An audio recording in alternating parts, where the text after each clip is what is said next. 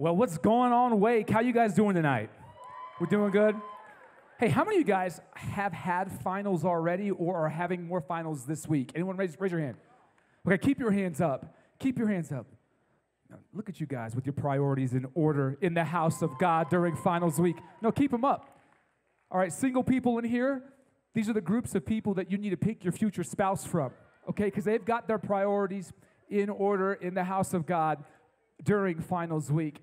Hey, if we've not met before, my name is Nick. I'm one of the pastors on staff here at Copper Pointe, and anytime I get the opportunity to come and share with you guys uh, here at Wake, I'm excited. You know, Wake is where I got my start speaking 10 years ago. And so anytime I come to Wake, it feels like I'm coming home. And I love it. I love you guys. And I love this movement of people and what you guys are doing on the campus of UNM. And I'm just excited to see what happens in the future with you guys. And so we're in the, the sixth week of the sermon series in the book of Ephesians. And uh, tonight we're going to be camping out in chapter, or chapter 5.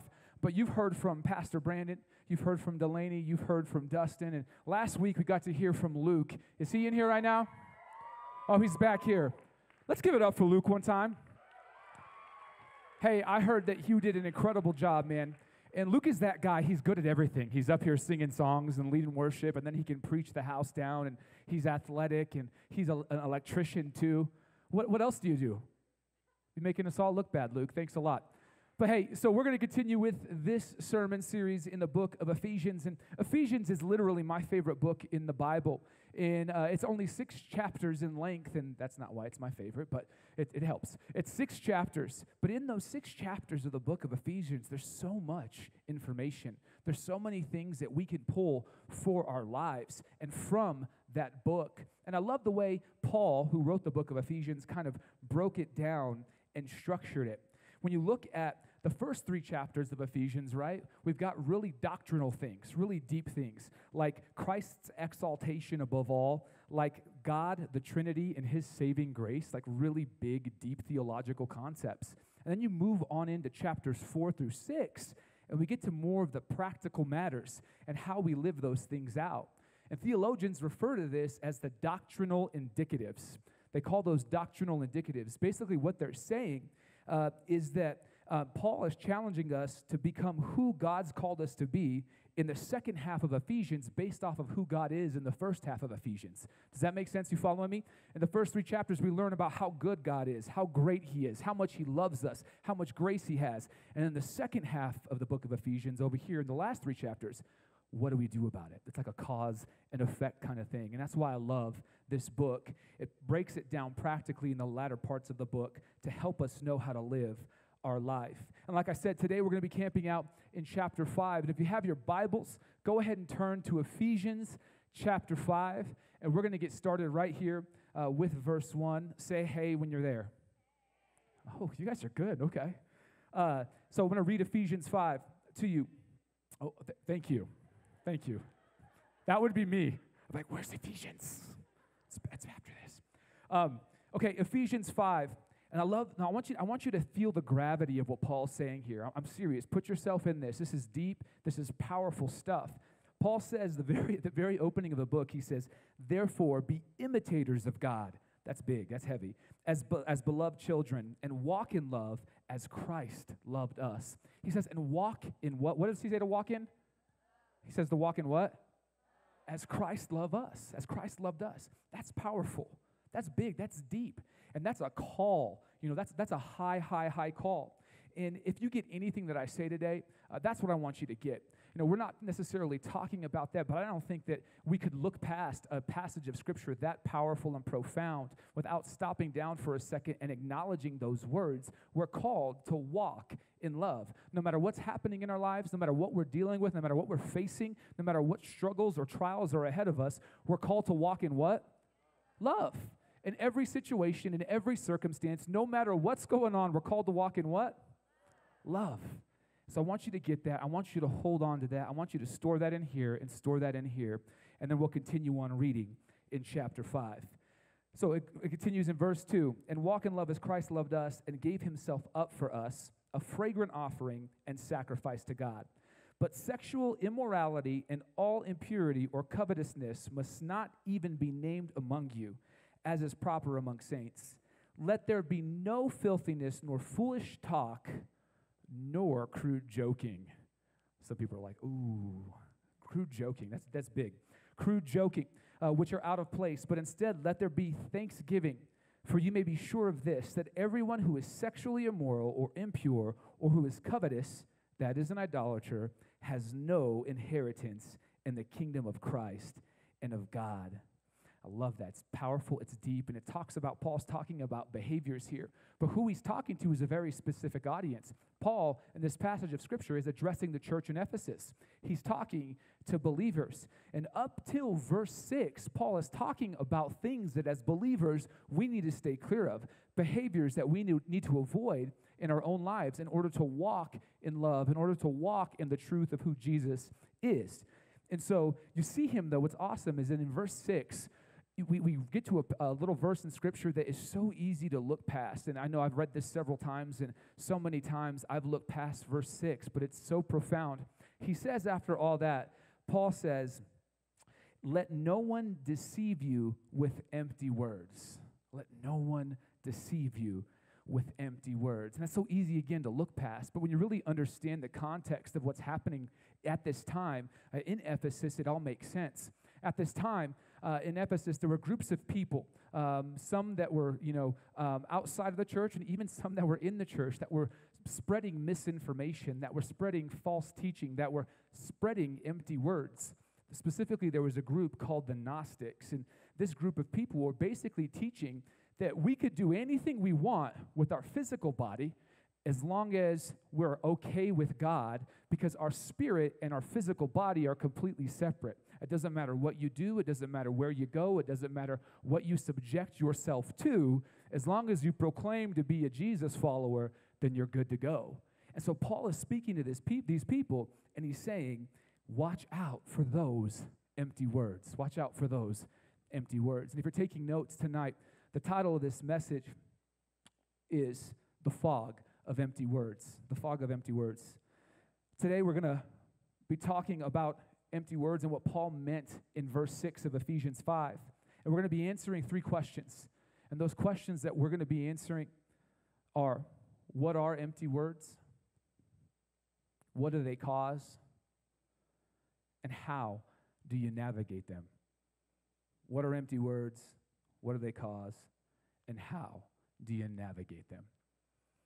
You know, my favorite place in all of the world is England, is the UK. Anybody in here love the UK? We got a couple people. Guys, I'm obsessed. I even named my daughter Britain. I've got a daughter, I named her Britain. I've been there several times. I love the United Kingdom. I love the UK. You know, I've even been guilty of faking an accent here and there. Uh, sorry. And it's got me in trouble a couple times, actually. There was one time I was, uh, true story, I was at the Denver airport and I'm late to my gate. I'm trying to get home, and I'm moving down those, what would you call them, those fast walkways, when you walk fast along the walkway. And I'm passing people, and as I'm, pa- you like my walk? Uh, as I'm passing people, um, I'm saying in my British accent, cheers. Cheers. If you guys, I know it sounds random, but if you've been to the UK, you know that cheers is, is a substitute for everything. They say cheers for thank you. They'll say cheers for, you know, you're welcome. They'll say cheers for everything. So I'm passing by people and I'm saying cheers as they're moving out of the way. I get down towards the end of this walkway. It's about to end. There's a one more guy at the end that I have to pass. And as I'm passing him, I say cheers in my British accent. And he turns and looks at me as we get off together and he says, Where about you from, mate? And I just ran really fast and walked. I, I didn't know what to do. I was a poser and I got caught. I got caught in that moment. That's a true story. I got caught in that moment. And to this day, it's kind of made me check that, but I have that tendency sometimes to talk in a British accent. And it's so bad too, but I try. I try. You know, the, the UK is known for a lot of things, right? It's known for great soccer. We've got a Man City jersey over here, Go City. We get known for great soccer. It's known for bad food. People know, know the UK for bad food, uh, but it's also known for something uh, more than food and soccer. It's known for fog. The UK is known for fog. It's, it's such a common association with the UK that they even have a drink at most coffee shops around the world called a London, a London fog. It's a common associ- association. And if you know anything about fog, what you know is that fog is dense. It's dense it can disorient you, it can confuse you, and you can truly get lost in it sometimes. And I think in a lot of ways, fog, in the physical sense, is a good example of the empty words that we have to navigate in our lives each and every day. You know, and in order for us to navigate these empty words, we got to take a minute and kind of discuss what are empty words. You know, Paul in Ephesians 5 6 uses the phrase empty words. The original Greek, he uses a specific word intentionally. And the word that Paul uses is a word called kenos or kenos. It's actually pronounced kenos. Uh, kenos. And what kenos means is anything that's void of truth or without the fruits of faith. Anything that's void of truth or without the fruits of faith. See, Paul is saying that if the words we're hearing aren't grounded in the Word of God, then they're void of truth. That's what he's saying. He's saying in Ephesians 6 be careful of empty words. Be careful of words that aren't grounded in the Word of God. Be careful of what you're listening to and what you're allowing into your mind and what you're allowing into your heart. You've got to be careful and you've got to stay guarded. And that's what Paul is speaking to here. Be aware and be careful of those empty words. Empty words are everywhere today. They're everywhere. You know, we see them or we hear them in the media, we hear them in lecture halls. Sometimes we hear them from our friends and our family. Sometimes they're actually intended to hurt us. Sometimes empty words are given to us with the best of intentions. And sometimes they're wrapped up in this pretty little religious bow, and it's really hard to decipher the truth from empty words. You know, some people today will tell you that it's okay to believe some parts of the Bible, but not all parts of the Bible. You know, I think, before we go any further, even more dangerous than somebody telling you that you can't believe anything the Bible says is somebody telling you that you can't believe everything the Bible says. And that happens a lot today. People are saying constantly that we can't believe, yeah, we can't believe, you can, you can clap for that. We can't believe what the Bible says, everything it says.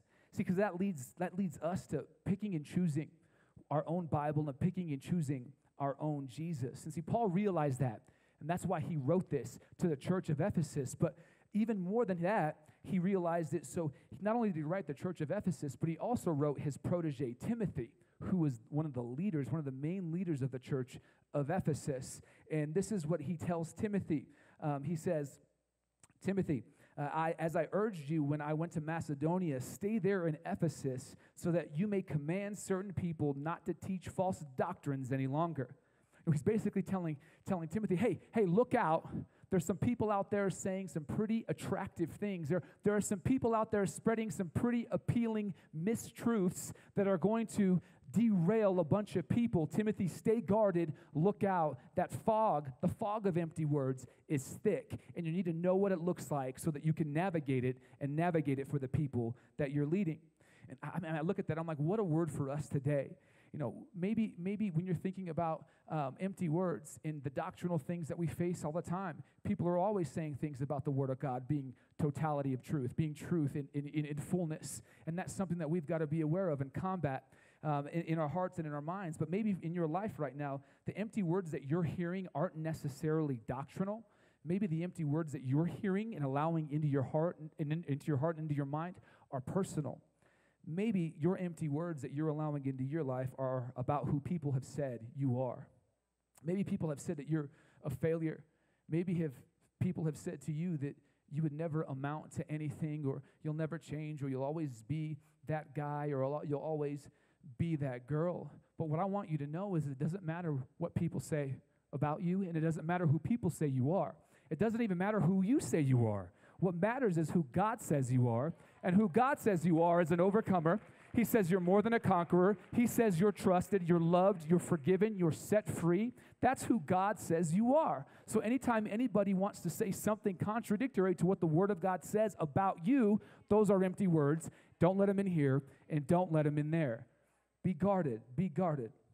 Another example of empty words, personal empty words that you might be experiencing, and I think I've heard this several times in my life, is somebody telling you or telling me, just do what feels right. Just do what feels right.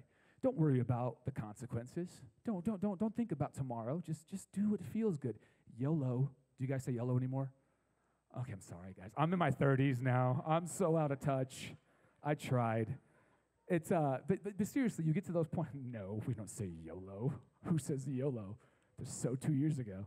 Um, but seriously, though, you, you have those times and those people that, that will tell you that just do what feels right. And although that sounds really good, it's extremely misleading. It's extremely misleading. You know, I'm not saying that we need to sit here and worry about everything or worry about the future. In fact, the Bible says not to worry about the future, but we need to keep the future in mind in our decision making. When we're making our decisions, we have to be future minded.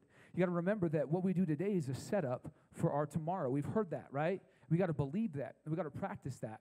You know, I had a, a conversation with a guy, man, a few months ago actually, who was interested in joining our internship. And um, he told me in a conversation that he felt called to ministry. And I thought that's cool. You know, I've had this conversation several times. That's awesome. And specifically, he told me that he felt called to speak. Okay, that's cool. Uh, and as we started navigating this conversation, he went on to say, and here's a disclaimer this guy was awesome. He's an awesome guy. And If you're in here, you're awesome. Um, but he went on to say, um, he went on to say, I feel called to speak, but I don't really feel called to serve. I don't really want to do a whole lot of that serving stuff. I feel like I have a gift. I feel like I have a gift and I need to practice this gift more. And so I don't think I'm the guy that's going to be doing a lot of the chairs and setting up the chairs or a guy that's going to be doing a lot of, you know, gathering people. I want to do the speaking. And he goes, I, what made it worse is he, he like validated that statement by saying, you know, I was talking to some friends recently. Whoa, empty words. I was talking to some friends recently, and they told me that I'm good enough to speak, and I probably shouldn't spend that time serving. And I thought to myself, I'm like, wow, you've got really dumb friends. But I didn't say that. What I did say to him, though, is I said to him, I said, if you feel, if you feel overqualified to serve, then you're underqualified to speak. And I said, oh, yeah, I did tell him that. And then I said, all, you know, all he had to do was open the Bible to any any part of the Bible and see how Jesus led and how Jesus served the people he led, and he wouldn't even went down that road and listened to those empty words that his friends told him. And so he didn't realize that serving today would build a platform for him to speak off of tomorrow. And that's something that we lose sight of today because the world teaches us that what we do today matters because there is no tomorrow, right? But what Jesus teaches us is that today matters because of tomorrow. What we do today matters because of tomorrow, not just in your personal life, not just in your calling and what God's preparing you for, but in eternity. The decisions we make today have internal impact on tomorrow right? So, what we've got to do is not listen to the empty words uh, of our friends, maybe, or the people around us, or the media that are telling us go out there, have fun, do what you want, how you want, when you want, why you want. Don't worry about tomorrow. Don't worry about it. Forget about it. And we've got to be future minded and understand that what we do today matters. Amen? Do you guys believe that tonight? You know, when we're talking about fog and we're looking at fog specifically, the science of fog, I want to go over that for a second, but what fog, with fog, when the warmer the, uh, the warmer the air is with fog, the more water it can hold, okay? The more moisture it holds. And as the temperature gets cooler, the, the air loses its ability to hold water. And I feel like in the same way, we can be on, a, on fire for God someday. We can be on fire for God. Our temperature's up here, our spiritual temp- temperature's way up here. And, and at some point, we allow empty words to creep in and our temperature begins to drop and we lose our capacity to hold the word of God as truth and the fog sets in and things that were clear at one point become unclear in that moment. It's because what we allow to enter here. It's because what we allow to enter here the things that are contradictory to what the bible says doctrinally but also who the bible says you are and your value and everything like that. So it's just something that we have got to be guarded of I know now, now that we've talked about empty words and what they are, let's talk about what they cause. What do empty words cause?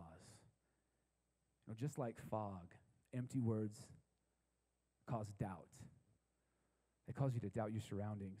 They cause speculation, and empty words can cause hesitation. You see, and just like physical fog, empty words can render you ineffective if you allow them to. They cause you to doubt the people around you. They cause you to doubt what the Word of God says about you. They cause you to doubt the plan that God has for you that at one point probably was so clear in your life, and because of what you've allowed in, is now unclear. Empty words cause speculation. They cause you to begin to form theories in your mind about people who you once trusted, beliefs you once held fast to, and a God you once loved.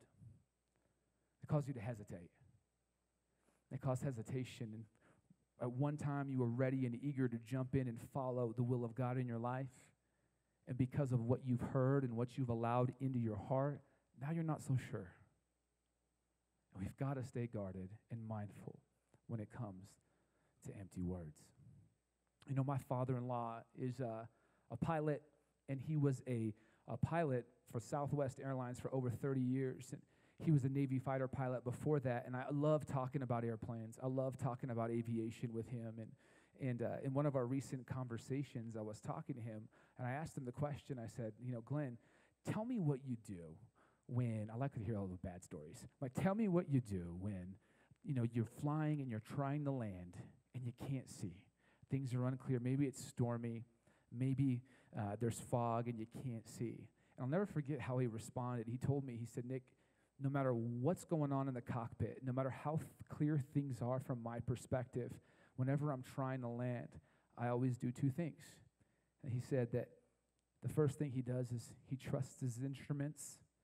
And the second thing he does is he listens to the people on solid ground he told me that pilots are trained to trust their instruments more than their personal instincts because in adverse conditions, pilots become disoriented and can react impulsively.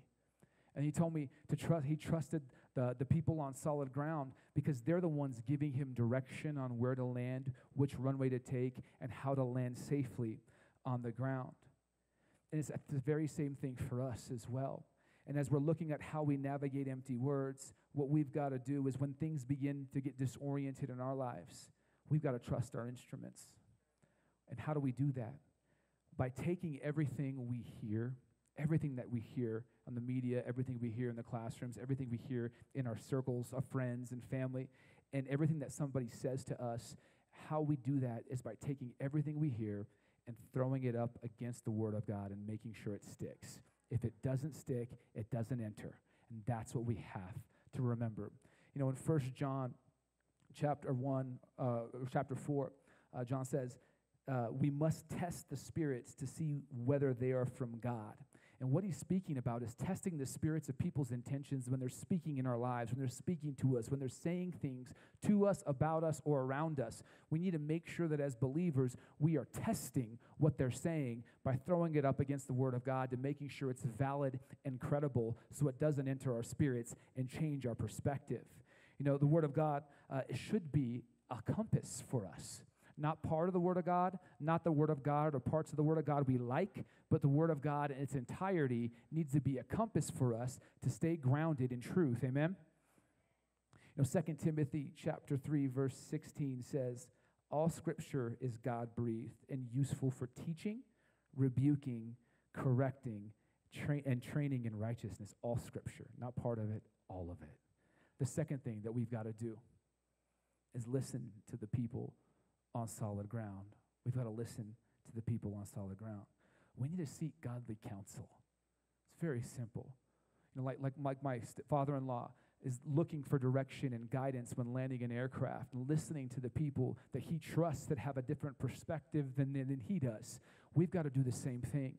And we've got to listen to those people who, who are godly in nature, who are grounded in truth, and who are going to guide us in the direction we need to go but those people that are also going to challenge us and push us to be better, to push us to do better, to push us to do more, and to do different if we need to do different.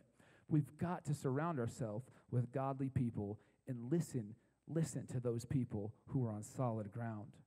You know, there are 25 verses in the Bible related to godly counsel it's, it's talked about a lot. And they're not even verses or passages, they're stories. There's a lot of examples in Scripture where kings and leaders and people throughout you know, Scripture and the history of the Bible are, are seeking wisdom, seeking godly counsel. And yet, a lot of us in this place today will make si- silly decision after silly decision and then wonder why we, our life is so jacked up. And it's because we've never taken the time to ask somebody whose opinion matters about the decisions we're making and we're listening, we're listening to what the world is saying instead of listening to what the Bible says and holding fast to the truths in here. And again, that's what Paul is speaking to in Ephesians 5 6. He's speaking to all the things we need to do, all the things we don't need to do. And then he says, Be careful of the empty words of people who are going to try to knock you off your path, the people that are going to try to take you away from what you know to be true. You know, Psalm chapter 37, uh, verses 30 to 31, and the NLT says, The godly offer good counsel. They teach right from wrong. They have made God's law their own, so they will never slip from his path. So they'll never slip from his path. We can't lose sight of the importance of seeking godly counsel in our life. You know, when it comes to scripture, when it comes to empty words, when it comes to what we're supposed to do, it's not hard, but it's hard for us to grab hold of. And it's an easier said than done thing, right? A lot of times we'll find ourselves in the moment making a silly decision because of the input from somebody who we shouldn't have listened to to begin with. And so, what we've got to do is take a step back and begin to use the foundations of truth that are in Scripture to help guide our lives. The foundations of truth that are in the Word of God to help us make better decisions. The foundations of truth right here that'll help guide you and keep you safe. We've got to steer clear of empty words, not just doctrinally. We've got to understand that the Word of God in its entirety is for us, and it's designed for us to help us be everything that God has called us to be. And when you look at Ephesians 5 6, we only read the first part of the verse, right? And we're going to put it on the screen behind us. But Ephesians 5 6 in its entirety says, Let no one deceive you with empty words. For because of such things, God's wrath comes on those who are disobedient. God's wrath. God's wrath. The even notion of God's wrath today rubs people the wrong way sometimes. I thought this God was all grace or all love. God's wrath. A lot of people today will say that God's wrath is an archaic concept, that there's no place for it anywhere today. And I'm going to be honest with you God's grace is real, and God is a God of grace and mercy and love. But the idea of God's wrath being archaic or a thing of yesterday or not being true is false words. God's wrath is very, very real. And the reason God's wrath is real is because God and sin can't exist in the same place. That sound sounds really eerie, doesn't it? Like, God's wrath is real. Repent. That's perfect, actually, for that. But seriously, that moment's gone now, Nick. But seriously, no, God's, God's wrath, when we're thinking about it in context, is a real thing. And it's real, it's evident, and it's there. And it's something that we've got to be aware of. But it's again, it's because there it is. I'm feeling it now. I almost heard it. It's because God can't exist where sin exists, right? We know that, right? God Sin is the antithesis of who God is. There, there is no coexisting with God in sin. And so when we think about God's wrath, you know, I'm reminded of, bear with me, I'm reminded of, uh, you know, I went to the hospital a few years ago when my grandma was diagnosed with cancer.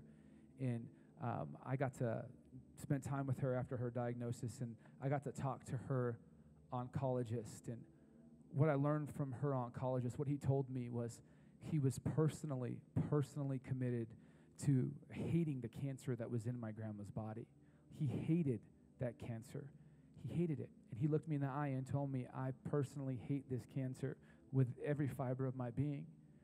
And then what he went on to say is that he said that uh, he was justifiably committed to eradicating every ounce of it that he possibly could. And what's crazy about just we just we can just stop. We're good. We're good. No keys. What's cra- what's crazy about it is when it when it comes to when it comes to that whole story, like when you're looking at it. Hold on. Whew. So he was justifiably committed to eradicating the cancer from my grandma's body, and I feel in the same way for us you know, God is looking down on us and seeing the sin in our lives, like the doctor saw that the cancer in, our, my grandma's body. And in the very same way, He hates the sin in our lives. He wants to see us live a life full and healthy away from sin. And it's not that God hates you. It's not that God, God's wrath is on you. It's that God can't exist where sin exists. And if we're existing where sin exists, then God can't exist there. And that's what he's speaking to. And I was reminded of that when I was thinking on my grandma and what that doctor told me. The doctor told me again that he hated the cancer that was in my grandma's body and that he was committed to eradicating every bit of it that he possibly could. And it's the same thing for us when it comes to sin in our life and God. See, the wrath of God is not some childish outburst from an angry father. It's not. It's not a childish outburst. The wrath of God is the justified response of God to everything that he knows is spoiling and destroying our lives. It's the justified response to that.